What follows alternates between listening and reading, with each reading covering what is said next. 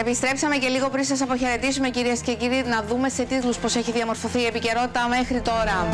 Μείωση 10% στο ηλεκτρικό ρεύμα, ανακοίνωση Ενατά Απειλίδου. Η μείωση θα εφαρμοστεί σε όλους τους λογαριασμούς που θα εκδοθούν με βάση τις καταμετρήσεις που θα γίνουν κατά τους μήνες Νοέμβριο-Δεκέμβριο του 2021 και Ιανουάριο-Φεβρουάριο του 2022, σύμφωνα με ανακοίνωση της ΑΕΚ τη διεξαγωγή τριμερούς συνάντησης για το Κυπριακό στο περιθώριο της ε, παρουσίας ε, του στη Γενική Συνέλευση στη Νέα Υόρκη, επιβεβαίωσε ο πρόεδρος της Δημοκρατίας. Θα πραγματοποιηθεί εκτός συγκλονιστικού απροόπτου και νέας πρόταση από πλευράς Τουρκίας, όμως δεν έχει οριστεί ακόμα ημερομηνία, δήλωσε ο Υφυπουργός ε, παρά το πρόεδρο στην εκπομπή μας.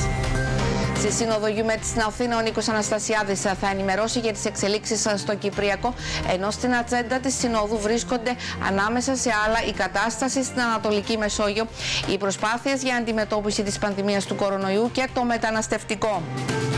Εθνική αναφορά χειρότερος μήνας από την αρχή της πανδημίας ο Αύγουστος. 93 νεκροί λόγω της νόσου COVID-19 πτωτική τάση δικτών βρέφος ενός μηνός νοσηλεύεται με κορονοϊό στο Μακάριο νοσοκομείο. Νεαροί θετικοί στον κορονοϊό κυκλοφορούσαν κανονικά στους δρόμους της Λεμεσού και με ναρκωτικά στην κατοχή τους.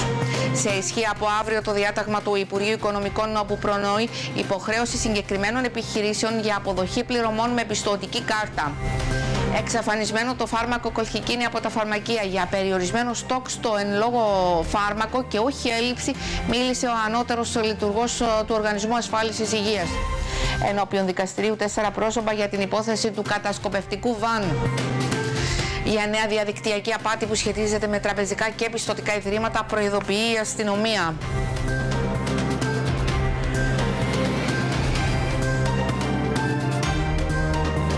Στο σημείο αυτό η εκπομπή μας ολοκληρώνεται. Ανανεώνουμε το ραντεβού μας με το Top Story για τη Δευτέρα στη 1 η ώρα. Επόμενη ενημέρωσή σας στις 4 το απόγευμα με τίτλους ειδήσεων. Κυρίες και κύριοι, να έχετε ένα πολύ όμορφο και ασφαλές Σαββατοκύριακο. Γεια σας.